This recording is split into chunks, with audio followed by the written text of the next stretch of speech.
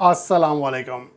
मैं हूँ अख्तर अब्बासी और आप देख रहे हैं वर्ल्ड स्पोर्ट्स। आईसीसी ने आज हफ्तावार रैंकिंग जारी की, जिसमें मेरी प्रोडिक्शन के मुताबिक, और जैसा कि हालात लग रहे थे, मैंने दो, तीन दिन पहले बता दिया था, अपनी वीडियोस में भी कहा था कि रिजवान अब दुनिया के number one T twenty batter बनने जा रहे हैं और गुजशत मैच में जब उन्होंने भारत के खिलाफ इकहत्तर रन की शानदार इनिंग्स खेली थी और इससे पहले वो अठहत्तर रन के रन की इनिंग्स खेल चुके थे हांगकांग के खिलाफ तो उसके बाद इस बात पर और ख़ास तौर पर बाबर आज़म और सूर्या कुमार यादव की नाकामी के बाद इस बात पर मुहर सब्त हो चुकी थी कि अब रिजवान ही number one T twenty batter बनेंगे। अलबत् अब चंद ऐसे एजाज़ात हैं जो कि रिजवान ने हासिल किए हैं और इस रिपोर्ट में हम रिजवान का सिफर से, यानी कि सिफर पॉइंट से लेकर अब तक का जो सफ़र है वो आपके लिए पेश करेंगे कि कब वो टॉप हंड्रेड में, कब टॉप फिफ्टी में और कब टॉप ट्वेंटी में, कब टॉप फिफ्टीन में और कब टॉप फाइव में वो शामिल हुए दुनिया के टॉप बैटर्स में। तो ये तमाम तफसीत आपके साथ शेयर करूँगा और बहरहाल मोहम्मद रिजवान ने आज एक बड़ा एजाज़ पाया है और वो पाकिस्तान की मजमू तारीख में तीसरे ऐसे बैट्समैन बने हैं जिन्हें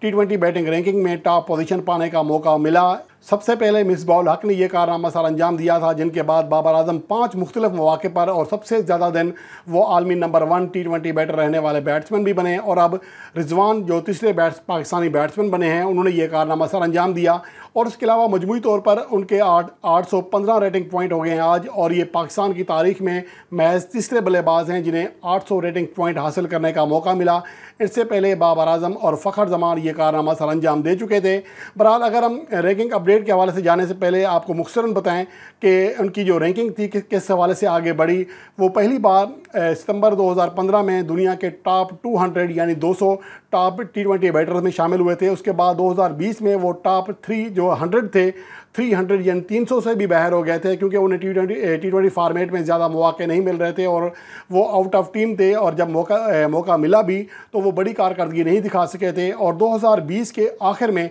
जब पाकिस्तान टीम न्यूजीलैंड के टूर पर गई और बाबर आज़म अनफिट हो गए, अब्दुल्ला शफी के साथ रिजवान को ओपनिंग कराने का मौका मिला तो रिजवान ने साबित कर दिया कि वो इस पोजीशन के लायक थे और जिसका इंतज़ार कर रहे थे, जब उन्हें भरपूर मौका मिला तो वो एक शानदार इनिंग्स खेलने में कामयाब रहे। न्यूजीलैंड के खिलाफ आखिरी टी ट्वेंटी मैच में 89 रन की शानदार इनिंग्स खेलकर अपनी टीम को फतह दिलाई। और इसके अलावा, और जो अगला मैच था पाकिस्तान का, साउथ अफ्रीका के खिलाफ होम सीरीज़ का, उसमें 104 रन की नाकाबले शिकस्त इनिंग्स खेली, जिसकी वजह से वो अपने कैरियर में पहली बार टॉप 100 टी ट्वेंटी बैटर्स में, उसकी फहरस्त में शामिल हुए, जब उनकी जो नई रैंकिंग थी 100 के बाद 77 हो गई थी। और उसके बाद वो अप्रैल 2021 में साउथ अफ्रीका के टूर में शानदार कारकर्दगी दिखाने में कामयाब रहे चौहत्तर रन की जब इनिंग्स खेली तो वो टॉप ट्वेंटी बल्लेबाजों में जगह बनाने में कामयाब रहे और उसके अलावा जिम्बाब्वे के खिलाफ इक्यानवे रन की शानदार इनिंग्स ने उन्हें पहली बार टॉप टेन में शुमार करा दिया और उसके अलावा वो जब इंडिया के खिलाफ आईसीसी वर्ल्ड कप जो था, गुजशत टी ट्वेंटी वर्ल्ड कप 2021 उसके मैच में जब वो 79 रन की इनिंग्स खेलने में कामयाब रहे, ये अक्टूबर का महीना था तो वो पहली बार दुनिया के top five T twenty batters में जगह बनाने में कामयाब रहे। और यहाँ ये बात भी काबिल ज़िक्र है कि अप्रैल 2021 में दुनिया के टॉप टेन बल्लेबाजों में जगह बनाने के बाद वो इस फहरस्त से कभी भी खारिज नहीं हुए, यानी कि टॉप टेन में वो बदस्तूर मौजूद हैं, सवा साल हो गया था उन्हें।